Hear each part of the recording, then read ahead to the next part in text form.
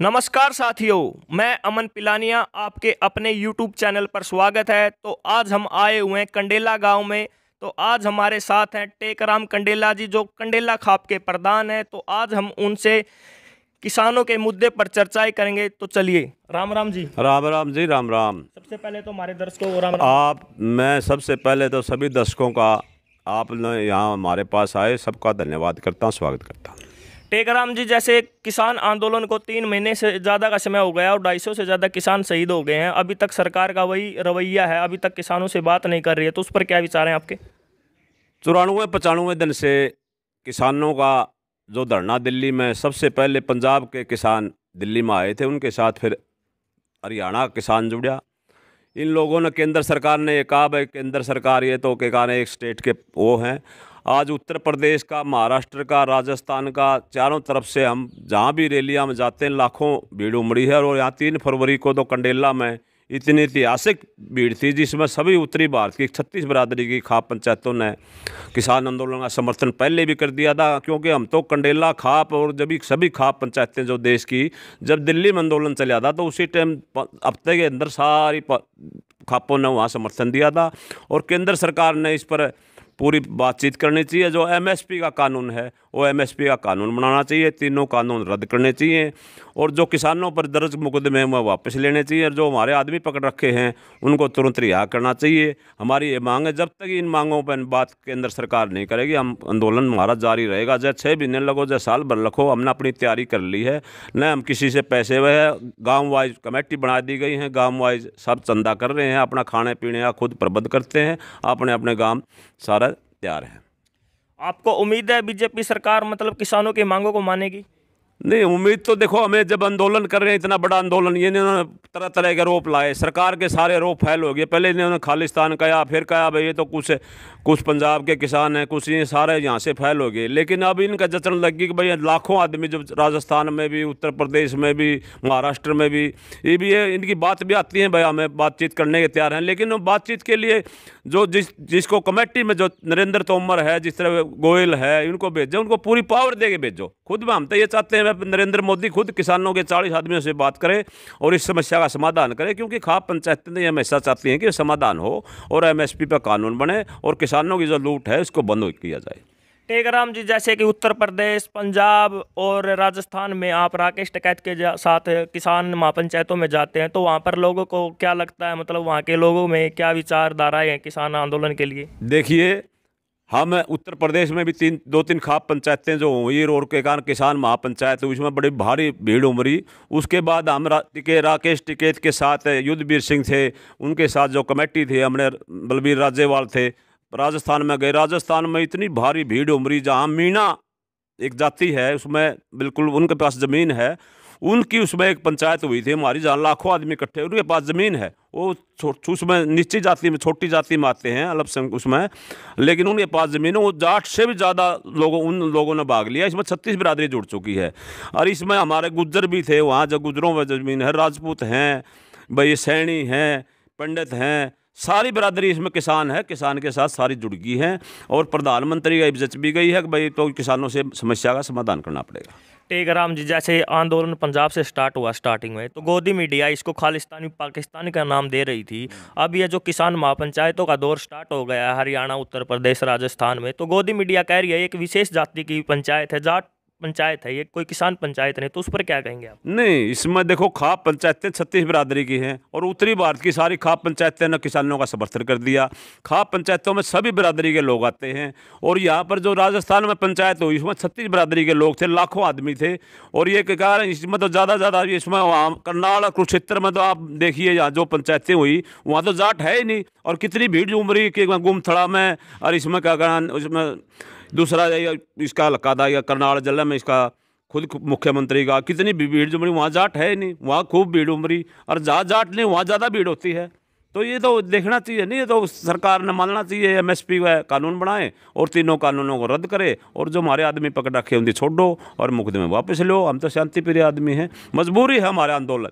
हमने रास्ते नहीं रोक रखे, रास्ते तो केंद्र सरकार ने रोक रखे हैं। हम तो दिल्ली में, रामलीला मैदान में या कहीं बोट क्लब पर वहाँ जाना चाह रहे थे, लेकिन सरकार ने वहाँ से रोक दिया। हम वहाँ बैठे हम तो सारा तो सर्दी लिकड़ गई।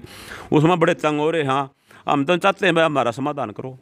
टेकराम जी, जैसे कल उत्तर प्रदेश में किसान महापंचायत थी, वहाँ पे एबीपी न्यूज़ के एक पत्रकार ने किसानों के समर्थन में इस्तीफा दे दिया तो उस पर क्या कहेंगे? ऐसे ऐसे पत्रकारों को तो हम सलाम करते हैं खाप पंचायतें भी, किसान समिति भी।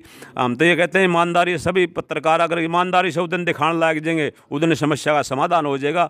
आजकल मीडिया का के कारण जब सरकार का ज़्यादा वो कर रहे हैं, इस तरह का दिखाना चाहिए, हम उसको सलाम करते हैं और ऐसे ऐसे जो जितने पत्रकार हैं और भी ज़्यादा ईमानदारी से दिखाएँ। एक राम जी जैसे ढाई सौ से ज़्यादा किसान शहीद हो गए हैं किसी घर में तो एक ही था जो खान कमान वाला था। तो जैसे कि बीजेपी और जेजेपी की गठबंधन सरकार है क्या आपको उनसे कोई उम्मीद है कोई किसानों के लिए कुछ अच्छा नहीं किसानों से हमने जेजेपी से उम्मीद ज़्यादा थी बीजेपी से तो के- थी इतनी के कारण इस तक मुख्यमंत्री से तो और जे जे पी से जैसे जिसने सारे किसानों को वोट लिए, चौधरी देवलाल के, वो अपना वारिस बता रहे थे। लेकिन जे जे पी अपना कुर्सी पर चिपके हुए बैठी है, कोई किसी का के कारण कोई बयान लग नहीं देते, वो न्यू भी नहीं कहते, भाई, किसानों से बात करो, मोदी से मिलें, अमित शाह से मिलें। उनके तो वोट ही किसानों के थे। और जहाँ तक ये सवाल है कि इसका आदमी हमारे ढाई सौ आदमी मर लिए, हम तो ये कहते सभी चैनलों को पहले हमारे वहाँ दुख प्रकट करो चैनलें वाले। वाले हमारे ढाई सौ आदमी दुख प्रकट भी नहीं करते केंद्र सरकार प्रधानमंत्री भी उन्होंने दुख प्रकट करना चाहिए। ढाई सौ आदमी मर लिए हमारे तो चैनल वाले ने भी हमें ये कहते हैं भाई हमारा पहले ये दुख ये करो भाई ढाई सौ आदमी मर लिए हम इसका दुख प्रकट करते हैं। जैसे ढाई सौ से ज़्यादा किसान शहीद हुए हैं खाप पंचायतें और किसान संगठन सरकार से कुछ मांग करेंगे इसके लिए? देखिए जब समझौते में जब ये बात चलेंगी तो उनकी अभी मांग होगी बिल्कुल उनको नौकरी दी जाए और उनको जो उचित मुआवजा भी दिया जाए। जब समझौता होगा तो उसमें सारी बात चलेंगी। जैसे बिजली का है पराली का है तो ये मुद्दे सारे पेंडिंग पड़े हैं, हम तो सारी बात रखेंगे। ये किसान के पास पास बिजली का इतना बिजली का, जैसे ये आंदोलन रहे हैं, विधेयक, इतना महँगी बिजली हो जाए, किसान के बस की बिजली है नहीं, पराली का है, कहाँ ले जाएगा? पराली का सरकार प्रबंध करो, उनके लिए कोई मशीनें दो, कोई सस्ते सौदे दो जब बात बनेगी। जैसे 26 जनवरी को किसान जो शांतिपूर्वक मार्च निकाल रहे थे उनको भी दिल्ली पुलिस ने गिरफ़्तार कर लिया। जो सिंग, किसान संगठन है उनके लिए कोई रिहाई की मांग को वापस लेने की मांग करेगी? नहीं नहीं उनके बारे में देखो वहाँ जो लाल किले पर जो घटना हुई उसकी बड़ी निंदा है। उन्होंने ये जो झंडा चढ़ाया उससे हमारा कोई लेना नहीं हमने उसी दिन बयान दे दिया था क्यों लाल किला का रास्ता इतनी सेफ्टी से उतनी खुला छोड़ दिया। और सौ दो सौ आदमी वहाँ चले गए। हमारा जो रास्ता रूट बना था उन्होंने वो तो रूट बंद कर दिया और रास्ता खोल दिया। सरकार की साजिश थी। सरकार की साजिश का पता लग गया भाई सरकार के आदमी थे इन्होंने धार्मिक झंडा चढ़ा के आंदोलन को पाड़ना चाहते थे लेकिन ये धार्मिक आंदोलन नहीं तो किसान आंदोलन है छत्तीस बरादरी का नहीं जो नांगलोई जो आसपास के जो दिल्ली के बॉर्डर के करीब वहाँ पे जो शांतिपूर्वक मार्च निकाल रहे थे किसान वहाँ पे भी मतलब खोखरी गाँव के दो मनोपर गाँव के तीन और भी हरियाणा में बहुत ही किसानों को पकड़ लिया दिल्ली पुलिस ने जो उन पर केस लगाए हुए हैं दिल्ली ने जो झूठे मुकदमे तीन की भी धाराएँ हैं तो उसके लिए सरकार से मांग करेगी कि वो वापस लिए बिल्कुल करेंगे जिनकी सबकी उन्होंने कुछ को क- की- किया ही नहीं, न वो तो शांतिपूर्ण तरीके से कर रहे हैं, लेकिन उनकी तो मांग हम पहले रखेंगे भाई, जो धारा लगाई हैं, मुकदमे लगाए हैं, इनको वापस किया जाए। और ये तो जितने भी हमारे नज़दीक के जीन ज़िले के, धोड़ी के भी हैं मनोपर के भी हैं, खोखरी के भी हैं, जीन ज़िले में जितने भी हैं, या हम तो सभी की मांग करेंगे, और उनके लिए हम पूरी पैरवाई भी कर रहे हैं, और वकीलों से हमारी बात भी हो चुकी है वह उनकी जमा- जमानत भी जल्दी होगी, लेकिन हम पहले उनके मुकदमे वापस करवाएँगे।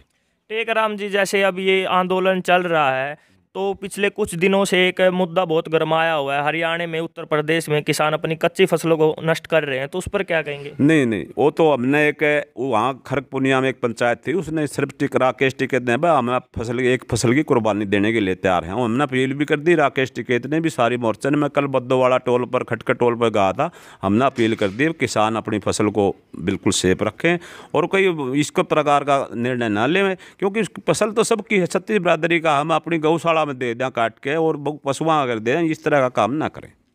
अच्छा अब ये एक मार्च से कह रहे हैं सौ रुपये लीटर दूध हम गाँव में देंगे। मनो ये शाहपुर गाँव में भी कहा है अगर सौ रुपये लीटर दूध कम दिया तो ग्यारह हज़ार का जुर्माना लगा देंगे तो उस पर क्या करें? नहीं उसका उसमें मैंने देखा था कोई को, को, खाप का फैसला नहीं था वो व्यक्ति भी थे विशेष आदमी का फैसला था लेकिन हम इस तरह की बात है उससे बात करेंगे इस तरह का नहीं दूध तो गरीब आदमी ने सब दूध जो हम हमारा भी ले हुए हैं भी हमारा आंदोलन में लाग रहे हैं ये तो कोई ऐसी बात को नहीं हम इसके बारे में तो कोई वो नहीं हमारा फैसला।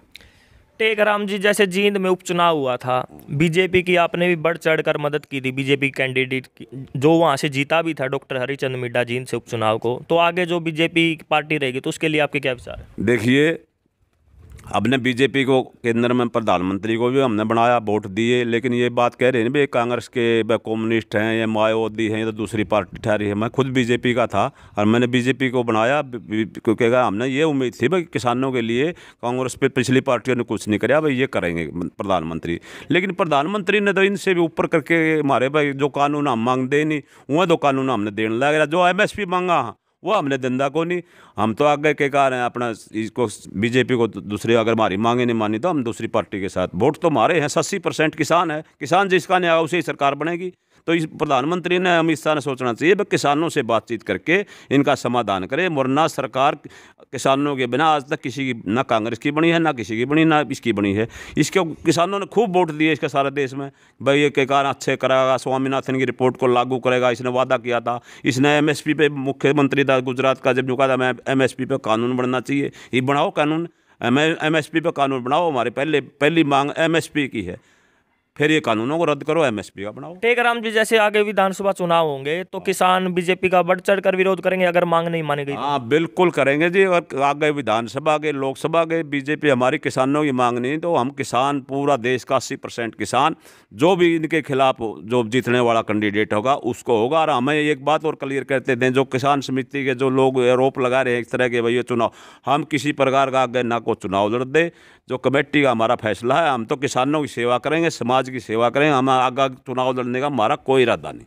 जैसे कि जींद उपचुनाव में जींद थे जो विधायक हैं डॉक्टर हरी जो डॉक्टर कृष्ण मिड्डा जी बाद में भी जो विधानसभा चुनाव जीत कर आए हैं जींद में छत्तीस गाँव पड़ते हैं छत्तीस गाँव में किसान भी हैं और किसानों ने भी डॉक्टर को वोट दिए हैं तो अभी फ़िलहाल किसानों के समर्थन में नहीं है तो उस पर क्या कहेंगे? उस पर ये कहेंगे भाई किसानों के सारे आदमी मिले उससे जाके उसका इस्तीफा लें। सभी अपने अपने एम को वहाँ पर अपने जितने भी एमएलए हैं, उनको इस्तीफा लें और सारे लोग इकट्ठे हुए। भाई हमारे वोटा तो बने रहा, है तो इस्तीफा दे। अगर ये इस्तीफा देने लग जाए तो केंद्र सरकार मान जाए। अगर जेजेपी वाले इस्तीफा पार्टी छोड़ दें तो यार हरियाणा सरकार टूटे है, उसे टाइम मैसेज आओगा लेकिन हिंदी छोड़ देने हम तो नहीं होगा सारे।